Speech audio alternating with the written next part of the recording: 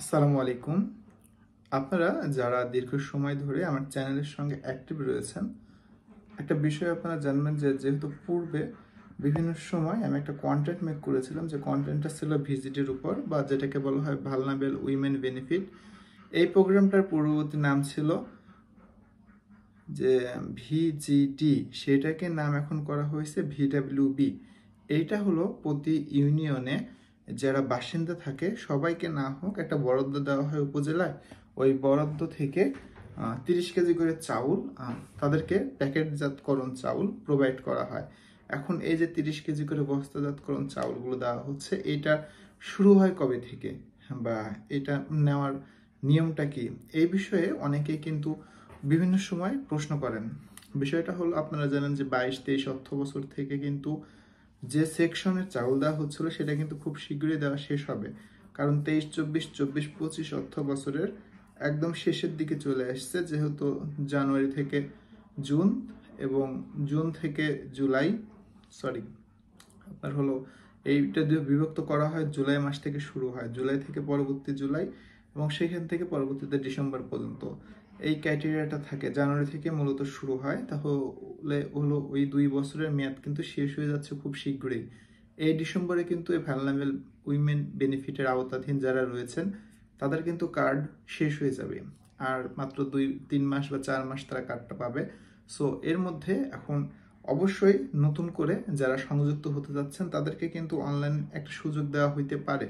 যেহেতু আপনার বর্তমান সরকার ব্যবস্থাপনা জানেন যে তত্ত্বাবধায়ক সরকারের আওতাধীন বাংলাদেশ পরিচালিত হচ্ছে। এখন একটা বরাদ্দের বিষয় থাকে। যেহেতু এখন করে নতুন করে কোনো বরাদ্দই আসতেছে না কোনো অফিসেই।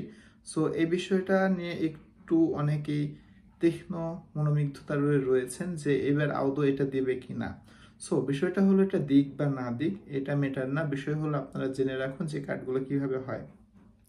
এই কার্ডগুলো পেতে হলে আপনাকে সর্বপ্রথম যে ক্রাইটেরিয়াটা পূরণ করতে হবে, তা হলো আপনার বয়স সীমা হতে হবে। আঠারো থেকে পঁয়তাল্লিশ বছর। আঠারো থেকে, আমি যদি ভুল না করি, আঠারো থেকে পঁয়তাল্লিশ বছর যদি আপনি একজন উইমেন হয়ে থাকেন, তাহলে কিন্তু এই বেনিফিটটা নিতে পারবেন। আপনি এই বেনিফিটটা শুধুমাত্র একবার নিতে পারবেন আর একবার হলো দারিদ্র ক্ষেত্রে আপনি বেনিফিটটা অগ্রাধিকার পাবেন। আপনার বাড়িতে যদি ইলেকট্রিসিটি না থাকে এবং আপনার বাড়িতে যদি একটা একর, কত যেন একর একটা জমির পরিমাণ থাকে, এর নিচে যদি আপনার পরিমাণ হয়, যে এতটুকু কম জায়গার উপর আপনি বসবাস করতেছেন, সেই ক্ষেত্রে আপনার বাড়িতে এটার অগ্রাধিকার পাবেন। আপনার বাসায় যদি মানে যেটাকে বলা হয় গাঁথনে, এই যে আমার পিছনে যে ওয়ালটা দেখছেন, এই ওয়ালটাই যাদের বাড়িতে টিন শেড এবং বিশেষ করে সোলার, এখন যদি সোলার বেড়া পাওয়া যায় না, কারণ এটা হলো আপনার ওয়াল শেড, এটা আপনারা অনেকেই দেখতেছেন যে এই যে ওয়াল দেওয়া যেহেতু আমার এটা, আর যাদের বাড়িতে টিন শেড রয়েছে, তারা কিন্তু এই বিষয়টাতে অগ্রাধিকার বেশি পায়।